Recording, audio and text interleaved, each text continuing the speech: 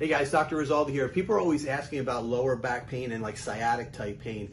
That's where you're getting a pinching of the nerves in the lower part of your back that's shooting down that leg. Sometimes like a poker pain in the back of the leg, like a hot poker going into the into the nerve. What literally could be happening is if you look here, this is the vertebra and this is the disc. You've heard of having a bulging or herniated disc, but look what happens as that thing compresses down. You can see it's pressing right on the nerve.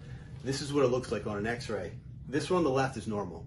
We should have a 45 degree arc from the side and there should be big open spaces in between those discs and the nerves are coming out of these openings. That's what you would be seeing here normal. Here's the problem area. You can see there's no space in between where the discs are. The curve is totally flat and those nerves are totally getting pinched just like we showed you right there. What we need to do is actually get in there and make the right adjustments on the spine, put motion and alignment back in the spine, and that'll literally take the nerve from that to that again. Pain goes away, body can heal itself.